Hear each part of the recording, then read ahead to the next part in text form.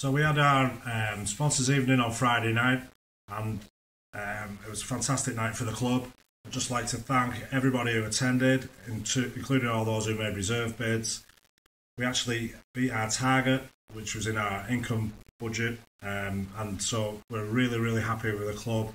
We feel as though there's lots and lots of sponsors behind us. The sponsorship numbers and the sponsorship commitment is getting higher and higher year by year, and we're just totally delighted with what we've got and what we're creating down here for our sponsors. We, we want to be able to look after them. We want to give them publicity. We want, we want their brand being associated with Barrow Raiders to, to help their business, and, and we'll try and do anything that we can to raise their brand awareness.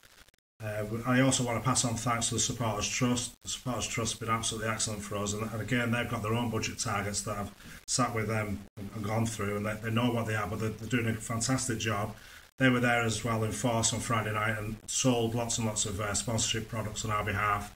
They're also running a 200 club that they hope to change it as a 500th club, and why not? We've got enough fans out there. So that they've done a fantastic job for us as well. So it, it's all really positive looking forward to the new season.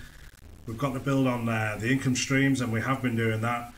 I've said before that it's no good having one person putting a quarter of a million in. Let's have 50 people putting 5,000 in, and, and that's spread. If we lose one or two along the way, there's no risk. Whereas if you lose a big benefactor, then you know the club's you know gone for a Burton. So what we're doing is we'll try to get lots and lots of people on board and look after them. And uh, thank you very, very much for your support because that seems to be happening.